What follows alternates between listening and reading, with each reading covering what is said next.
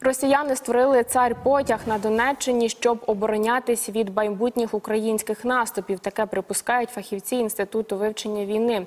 Цар потяг це 30-кілометровий бар'єр з вантажних вагонів. За останніми даними їх було 2100 одиниць. Згідно з супутниковими знімками, побудували таку е, лінію росіяни за останні 9 місяців. Тягнеться вона між окупованими Оленівкою і Волновахою. Збирати такий потяг загарбники почали у липні 2023 року.